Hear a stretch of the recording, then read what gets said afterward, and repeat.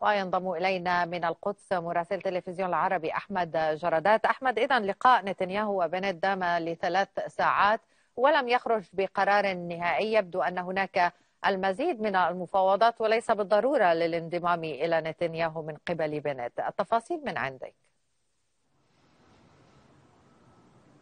صحيح ديما يعني يسعى نتنياهو من خلال هذا اللقاء إلى ضم بنت إلى معسكره. حتى الآن نفتالي بنت زعيم حزب يمينة لم يحدد إن كان سينضم إلى المعسكر المؤيد لنتنياهو أو المعسكر المناهض والمناوئ لنتنياهو. ولكن في المقابل نتنياهو يسعى لإغراء بنت عن طريق مكاسب سياسية عن طريق مناصب سياسية عن طريق أن يكون وزيرا للأمن في الحكومة المقبلة أو حتى الانضمام إلى حزب اليكود وإعلان تحالف بين اليكود ويمينة ووضع أعضاء حزب يمينة في أماكن مضمونة لولايتين انتخابيتين قادمتين. ولكن في المقابل حتى الآن بنت قال وصرح بعد الانتهاء من هذا الاجتماع والذي هو الأول عقب الانتخابات للكنيست بأنه سيسعى للعمل من أجل مصلحة إسرائيل وحكومة مستقرة وإنشاء حكومة مستقرة. ولكن هذا اللقاء يأتي قبل يوم واحد أيضا من لقاء بنت مع يائير لبيد. هناك تحركات تشهدها إسرائيل لقاءات بين السياسيين الإسرائيليين وذلك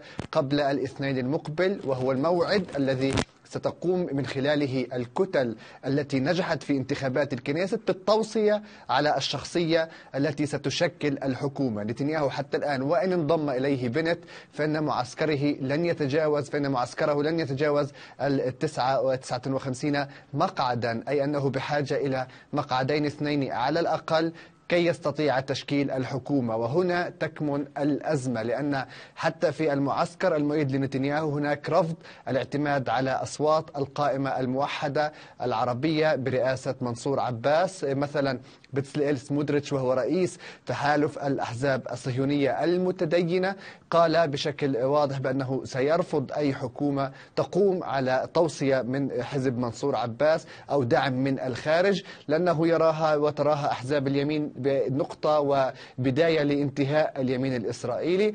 أيضا في المقابل إن تحدثنا عن التحركات في الجهة المقابلة إير لبيد ما زال يجري لقاءات من أجل العمل على تشكيل حكومة ولكن هناك تحرك في الساحة السياسية الإسرائيلية حاليا بما يعرف باسم كتلة التغيير. يقود هذا التحرك جدعون صاعر المنشق عن حزب اليكود والرافض والمناوئ لنتنياهو والذي أيضا رفض في السابق اقتراحا من نتنياهو بالانضمام إلى معسكره والانضمام إلى حكومة برئاسته. هذا يعني معسكر التغيير أو, أو, أو كتلة التغيير تريد أن تنشئ حكومة إسرائيلية ما بين اليمين والوسط وتعتمد على التناوب بين نفتالي بنت ويائير لبيد أي أن بنت سيكون بداية رئيسا للوزراء وبعد ذلك يأتي يائير لبيد. هناك في هذه اللحظة نفتالي بنت هو يبحث عن أكبر وأكبر قدر من المكاسب السياسية لأنه أمامه فرصة لأن يكون رئيسا للوزراء إن لم يذهب باتجاه معسكر نتنياهو ولكن هو حتى الآن يحاول أن يرى أي المعسكرات هي الأقرب لتشكيل الحكومة ويحاول جس النبض إن كان في المعسكر المؤيد لنتنياهو أو المناوئ لنتنياهو. مصادر صحفية إسرائيلية تحدثت